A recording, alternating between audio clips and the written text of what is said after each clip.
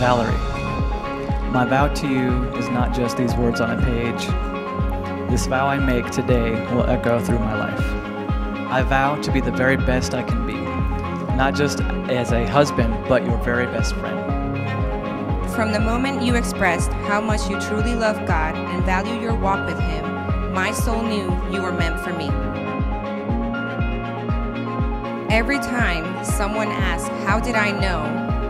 I always answer the same way. My soul recognized His soul.